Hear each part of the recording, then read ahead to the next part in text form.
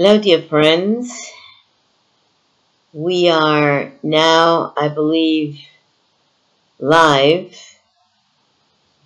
and this is our first video for the new channel, and we will see what is going on here, if it works or if it doesn't work. So here is Parsha's Miketz. In Parsha's Miketz is powerful in many, many ways. As we know, our conversation is with Joseph. Joseph is in Egypt. He's in prison. He helped two guys get out of, well, get out of prison, one to live and one to die.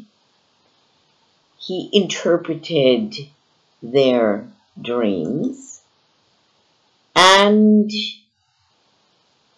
that brings us to a very, very interesting conversation because we all dream, whether or not we remember our dreams or we don't remember our dreams is a conversation which we will go into. But before I do that, I want to tell you exactly what we're doing here. Before I was taking the Parsha and basically discussing the interpretation of the Parsha in the Hasidic way, in a more open conversation, now I'm bringing in the Zohar directly. I will read you things directly from the Zohar. I'm using the Soncino Zohar translation into English. For the Italian, I'm using the Soncino and I'm doing the uh, the translation myself, but we have the exact translation of the Soncino Zohar.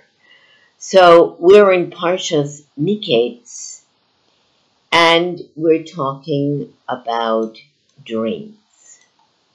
So here is what the Zohar says.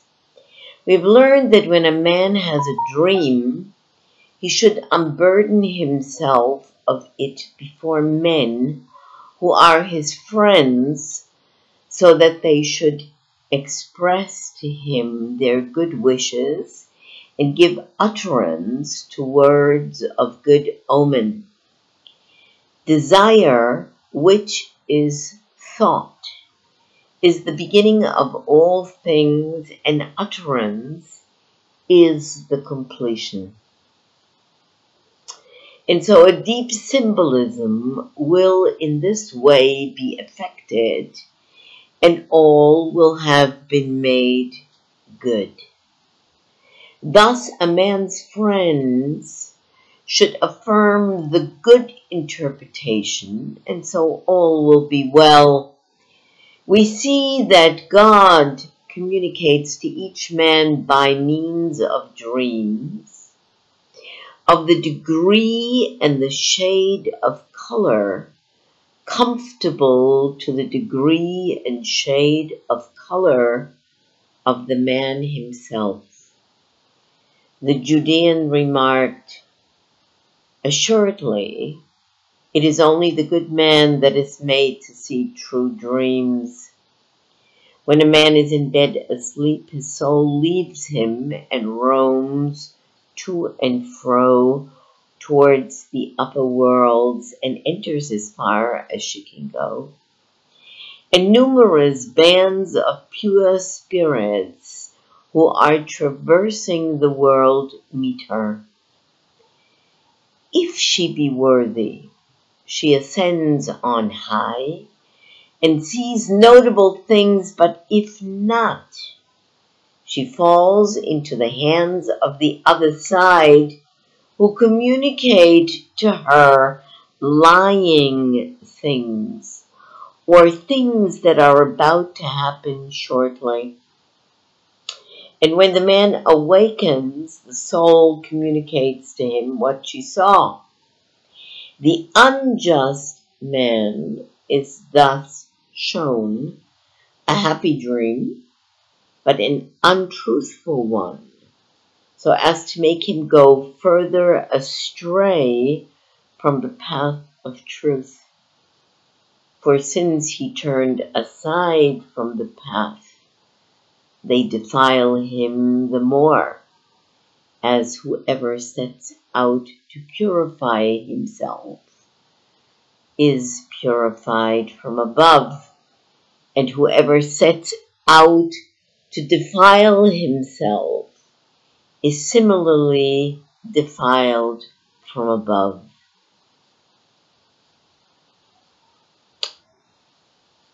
This is what the Zohar says in Parshas Miketz about a dream.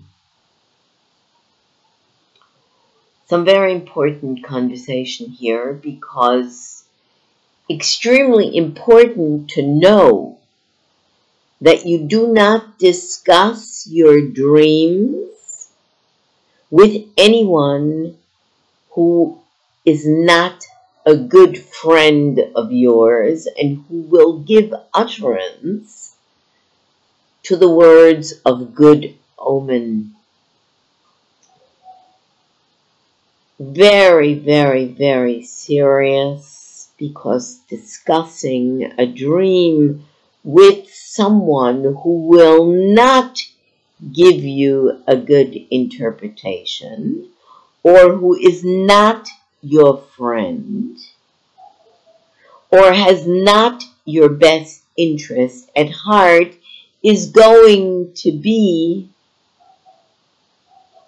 bad for you. Zohar goes on to say, desire which is thought.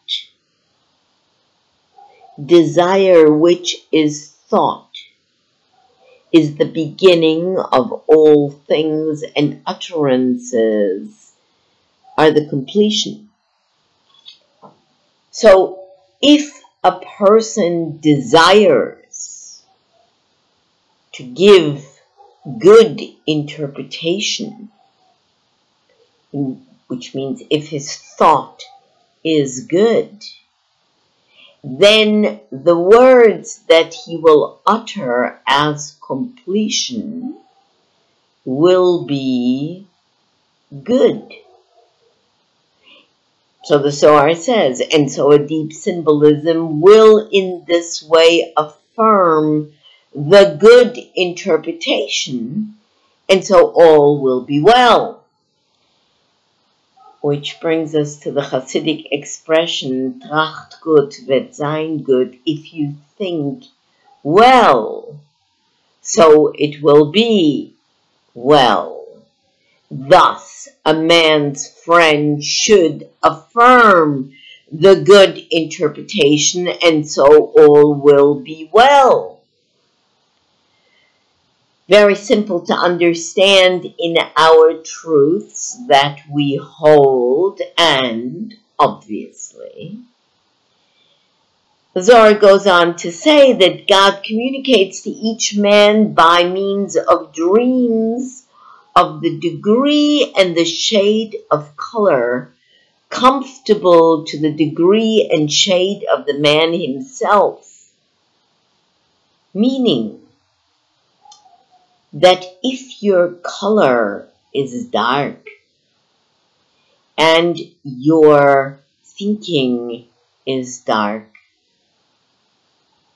you won't be comfortable with the degree of shade of light.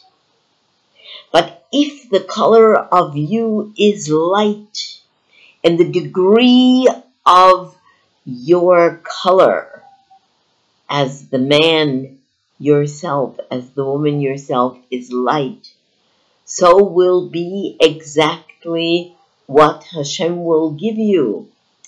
And since dreams are a sixtieth of death,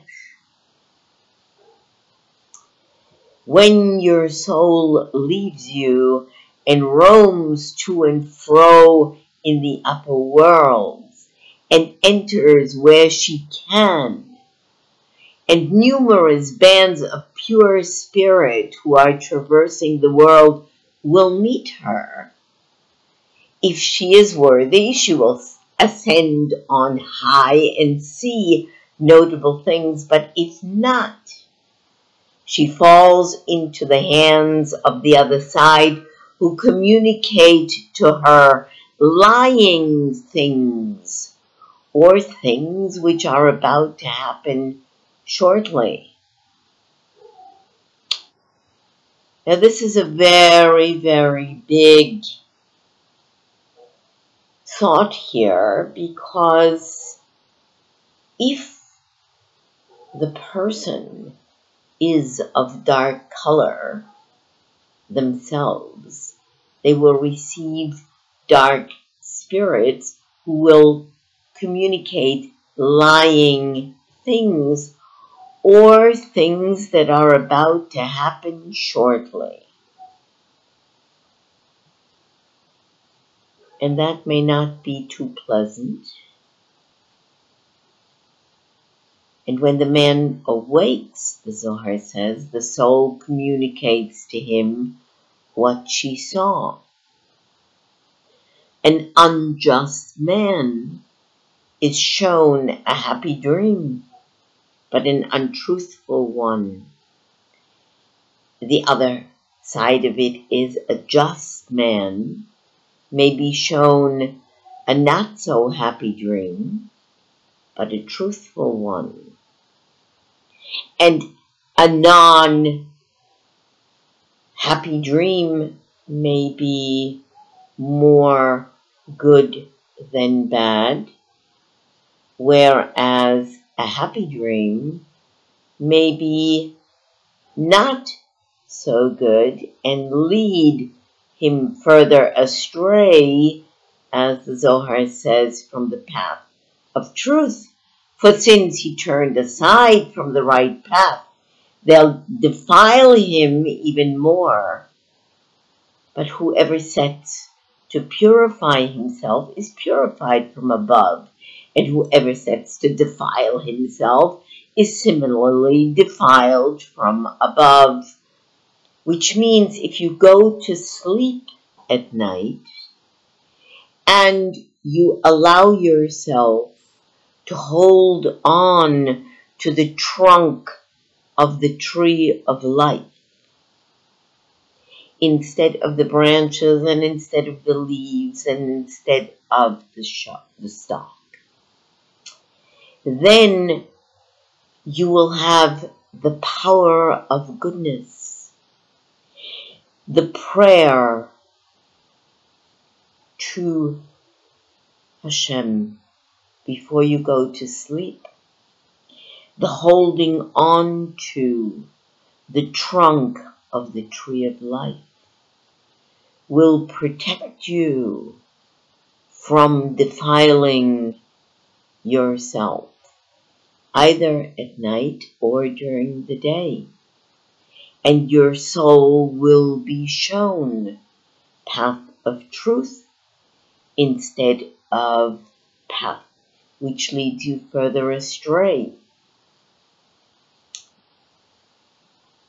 The tree of life, as the Zohar says, also in Parshas Miketz.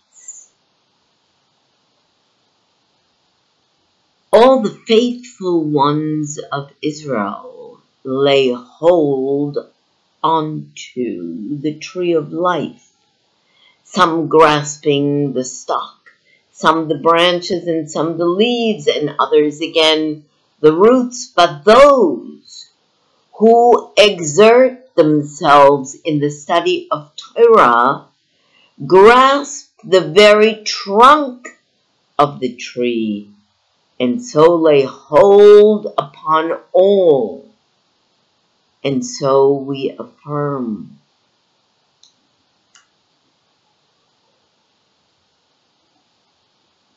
Whoever labors in Torah and cleaves unto her is privileged to hold on to the tree of life, as it is written. She is a tree of life to them that hold to her. And those who take hold upon the tree of life in this world will also keep hold of it in the world to come, since the grades assigned to the souls in the next world correspond to their state of departing from this world. Simple to understand, isn't it? So basically, when you labor in Torah, and when you are attached to Torah, which is the tree of life, your dreams will be of good omen. Your friends will interpret them and give utterance to a wonderful completion. Your soul will not defile itself not by day and not by night and all will be well with you. And this is why Yosef, when he interpreted Pharaoh's dream, was accepted because he took the good and he made the dream good. And he said, there is good in this dream, and if you prepare yourself, the outcome of this dream will be goodness for the Pharaoh and for Egypt and then for the world. And Pharaoh accepted this because he wanted to hear and he wanted to believe the goodness. And when he interpreted the dream for good for one and for bad for the other, that is exactly what happened. And his own dreams took 22 years to manifest themselves. But the Zohar here does not talk about that it will happen immediately unless it's not so great and it's short term. But the real message that the Zohar brings to this conversation is hold on to the tree of life and you will have what you need. There is another very, very important conversation that I do want to bring up. I didn't for the Italian, but I am going to do it for the English because I just didn't know if the Italian was going to come out or not. But now that I know how to work this, I'm going to do this. There's a great, great, great conversation about Yosef having two sons before the year of famine. And the Zohar speaks of the days before the days of famine, which are the days of plenty and the years of plenty.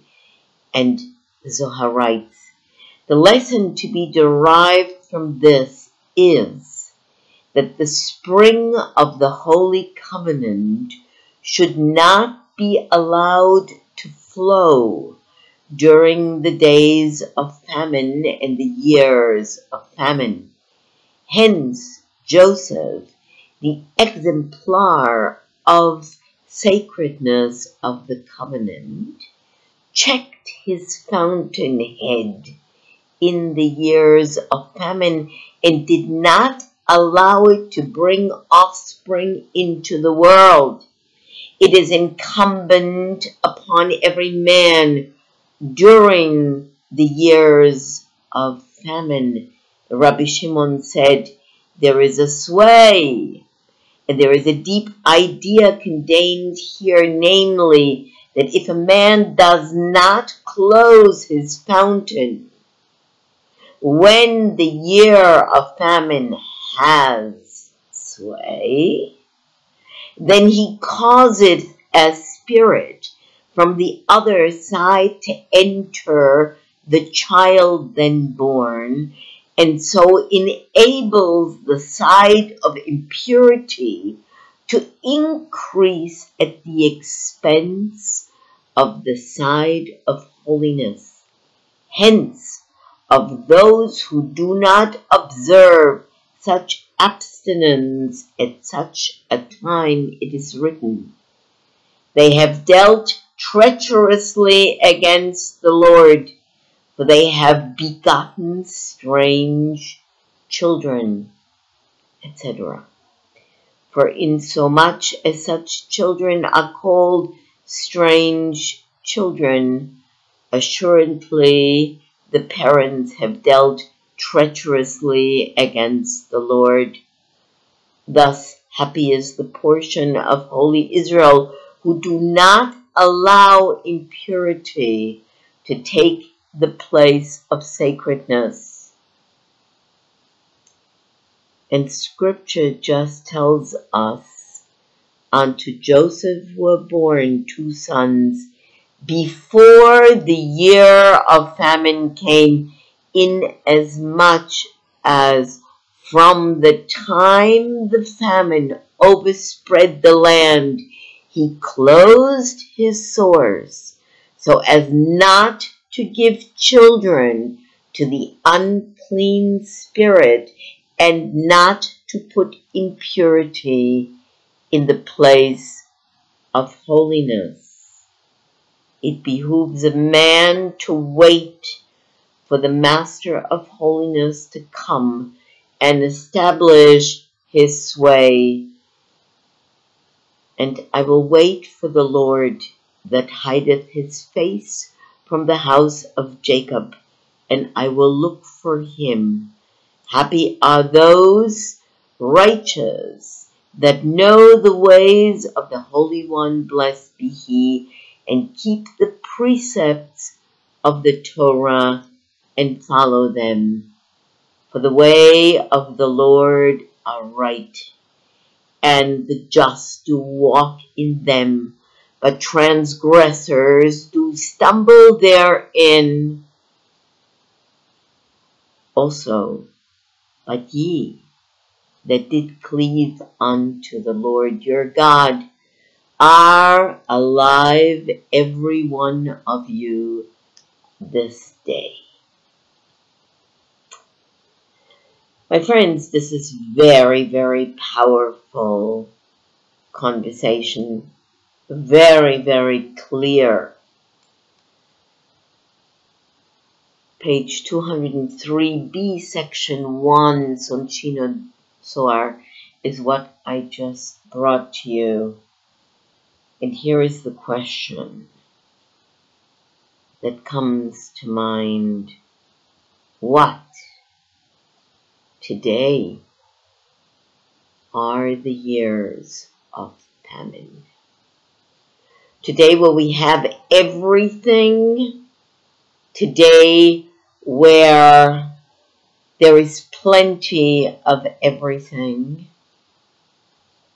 what is the year, what are the years of famine? And when should the fountainhead be closed, and when should strange children not be brought into the world? And that is the conversation between each and every one of us and Hashem.